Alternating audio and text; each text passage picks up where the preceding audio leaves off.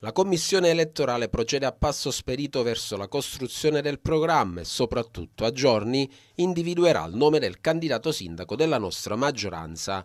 Lo ha annunciato da Grisolia Francesco Papa, consigliere dell'amministrazione comunale guidata dal sindaco Antonio Longo, maggioranza che si presenterà al voto per l'imminente tornata elettorale di primavera.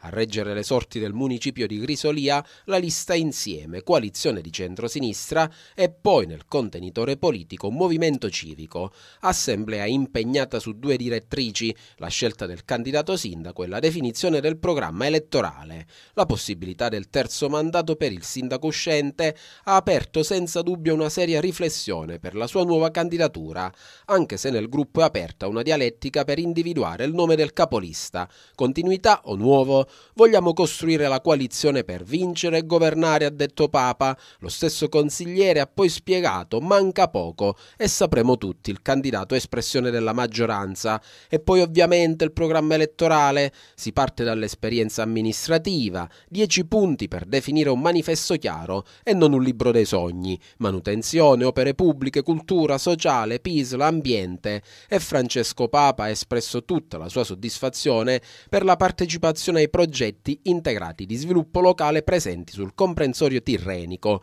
interventi che daranno uno slancio e non non da poco conto ai confini di Crisolia.